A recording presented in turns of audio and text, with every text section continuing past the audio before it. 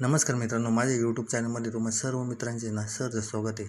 आज मी तुम्हाला एक असा उपाय सांगणार आहे की की तुम्ही जर एखाद्या शत्रूपासून नाक नाहक त्रसलेले असाल किंवा तुम्ही त्याचा आहे ना समोरासमोर सामना करू शकत नाही किंवा त्या शत्रूचा सामना करून देखील आहे ना त्या शत्रूवर तुमचा कोणताच असा परिणाम होत नाही आहे आणि तो पैशाच्या जीवावर तुमच्या उद्योगात किंवा व्यापारात जर वारंवार काही ना काही अडीअडचण निर्माण करून तुम्हाला जर घाटा करत असेल किंवा त्याच पैशाच्या जीवावर जर तुमच्या घरातील लोकांवर किंवा एखाद्या महिलेवर जर तो नेहमीच हात टाकत असाल आणि तुम्ही लाख वेळेस प्रयत्न करून देखील तो माणूस आहे ना त्या महिलेला किंवा तुमच्या उद्योगातून आहे ना सहजासहजी दूर होत नसेल तर मग तुम्हाला हा उपाय करायचा आहे कारण कसं होतं की दिवसेंदिवस आहे ना शत्रूंची संख्या वाढतच चाललेली कोणालाच आहे ना कोणाचं चांगलं झालेलं बघवत नाही एखाद्याकडे जर पैसा असेल ना तर त्या पैशाच्या जीवावर त्या शत्रूचा माज आहे ना दिवसेंदिवस आहे ना नेहमीच वाढत असतो किंवा तो शत्रू आहे ना पैशाच्या जीवावर आहे ना आपल्या हाताखालच्या लोकांना आहे ना नेहमीच कमी लेखण्याचा आहे ना प्रयत्न करत असतो आणि वेळप्रसंगी ना तो त्यांचा जीव घेण्याचा देखील ना प्रयत्न करत असतो.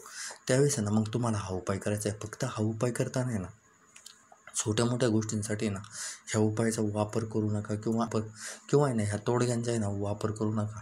कारण कसं होतं की आपण जे पण तोडगे किंवा जे पण उपाय करतो आहे ना तुम्ही जर हा उपाय केला ना तर तो शत्रू आहे ना अक्षरशः या दुनियेतून आहे ना होताचा नव्हता होऊ शकतो. त्यामुळं तुम्ही ज्यावेळेस पण हा उपाय करणार आहे ना त्यावेळेस ना लाख वेळेस विचार करून मगच ना हा उपाय करा.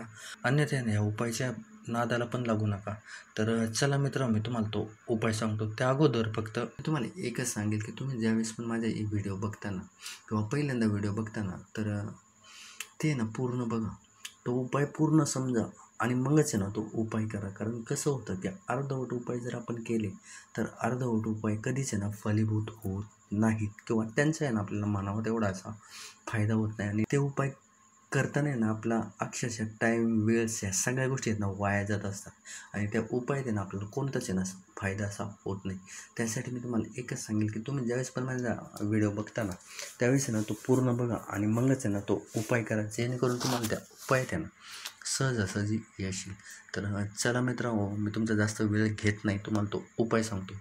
तो उपाय सांगण्या अगोदर एकच सांगेल की तुम्ही जर आत्तापर्यंत माझ्या चॅनलला सबस्क्राईब केले नसेल किंवा जर एखादे नवीन व्ह्युअर्स माझा व्हिडिओ बघत असतील तर त्यांनी जर माझ्या चॅनलला सबस्क्राईब केलेलं नसेल तर प्लीज सबस्क्राईब करून घ्या. सोबतच घंटीचं बटन दाबा जेणेकरून तुम्हाला माझे पुढचे येणारे व्हिडिओ सहजासहजी प्राप्त होतील. तर चला मित्रांनो मी तुम्हाला तो उपाय सांगतो. हा उपाय तुम्हाला मंगळवार किंवा शनिवारच्या दिवशी करायचा आहे. आणि तुम्ही ज्यावेळेस पण हा उपाय करणार आहे ना एकच काळजी घ्या की हा उपाय तुम्हाला रात्री दहा नंतर करायचा आहे. फक्त एकच काळजी घ्यायची की तुम्हाला ज्यावेळेस पण हा उपाय करणार आहे ना त्यावेळेस आहे तुम्हाला कोणी सहज सहज हटकलं नाही पाहिजे किंवा कोणी डिस्टर्ब नाही केलं. या पद्धतीने तुम्हाला हा उपाय करायचा आहे. त्या अगोदर काय करायचं आहे की तुम्हाला बाजारातून आहे ना एक मधाची बाटली विकत आणायची ती मधाची बाटली विकत आणल्यानंतर तुम्हाला अशा ठिकाणी जाऊन बसायचं की जिथे ना तुम्हाला कोणी सहजासहजी हटकलं नाही पाहिजे.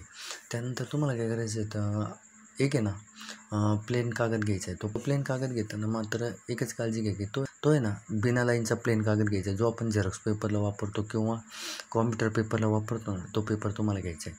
तो पेपर घेतल्यानंतर तुमचे जेवढे पण शत्रू असतील भले मग पाच शत्रू असतील तर पाच शत्रू दोन शत्रू असतील तर दोन शत्रू दहा शत्रू असतील तर दहा शत्रू. जेवढे पण तुमचे शत्रू असतील ना तेवढ्या शत्रूंचं नाव आहे त्या पेपरवर लिहायचे त्या पेपरवरती सगळे नावं लिहिल्यानंतर जर तुमचा एखादा गुप्त शत्रू असेल ना आणि जो तुम्हाला माहीत नसेल तर एक गुप्त शत्रू म्हणून लिहायचं आहे. त्याच्यानंतर एक आहे ना षडयंत्र म्हणून लिहायचं. आहे हे दोन शब्द आहेत ना तुम्हाला त्याच्यामध्ये ॲड करायचे आहेत. हे सगळं लिहिल्यानंतर त्याची आणि ना एक तुम्हाला पुंगळी तयार करायची. त्यानंतर तुम्हाला ना आपण जी मधाची बाटली आणली ना ती मधाची बाटली ना ओपन करायची. आणि मी तुम्हाला एक मंत्र देतो. त्या मंत्राचा तुम्हाला एकवीस वेळेस ना जप करायचा आहे. तो मंत्र असा आहे. ओम छोम छोम भैरवाय स्वाहा. ह्या मंत्राचा आहे ना तुम्हाला एकवीस वेळेस ना जप करायचा आहे. त्या मधाची बाटलीची आपण झाकण काढले ना ते झाकण तसंच राहून द्यायचं आणि तुम्हाला आहे ना या मंत्राचा आहे ना जप करायचा आहे. तो मंत्र जर समजले नसेल तर प्रत्येकदा सांगतो. ओम छोम छोम भैरवाय स्वाहा.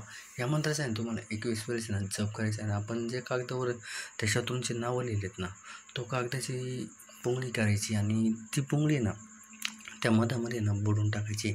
आणि त्यानंतर आहे ना त्या मधाची बाटलीचे झाकण आहे ना तुम्हाला लावून टाकायचे आणि हे सगळं झाल्यानंतर तुमच्या जवळपास जिथं पण ना भैरवनाथाचं मंदिर असेल किंवा शनिदेवांचं मंदिर असेल ना त्या मंदिरामध्ये ना ही मधाची बाटली ना तुम्हाला ठेवून द्यायची.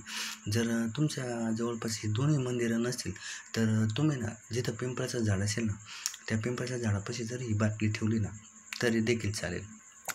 त्यानंतर तुम्ही बघताल की तुमचा जो पण शत्रू आहे ना त्या शत्रूचं जे पण आज अस्तित्व आहे ना ते अस्तित्व आहे ना थोड्याच दिवसात बघता बघता आहे ना हो तसा नव्हतं होईल. किंवा ज्या पैशाचा जीवावर तो आज मास करतो ना तो पैसा ना त्याच्या आयुष्यामधून ना निघून जाईल. आणि त्याची दुरावस्था इतकी घाण होईल की तुम्ही त्याचा विचार पण आहे ना करू शकणार नाही. तो भीक मागल पण भीक त्याला आहे ना भेटणार नाही. आणि एक दिवस असा येईल की तो शत्रू आहे ना अक्षरशः तुमच्या आहे ना पाया पडेल किंवा तुम्हाला आहे ना दयेची ना भीक मागेल. फक्त हा उपाय करताना पूर्ण श्रद्धेने आणि पूर्ण विश्वासाने करा जेणेकरून तुम्हाला ह्या उपाय ना सहजासहजी येशील. तर चला मित्र तुम्ही हा उपाय करून बघा. हा उपाय समजण्यात जर काय गाडी अडचणी असतील तर मला नक्कीच कॉमेंट बॉक्समध्ये विचारा. मी त्या सांगण्याचा आणि तुम्हाला नक्कीच प्रयत्न करेन. तसेच माझा हा व्हिडिओ आवडला असेल तर या व्हिडिओला एक लाईक करा जेणेकरून मला पुढचे व्हिडिओ बनवण्याचे ना मोटिवेशन भेटेल. तर चला मित्र भेटूया पुढच्या व्हिडिओमध्ये. तोपर्यंत नमस्कार.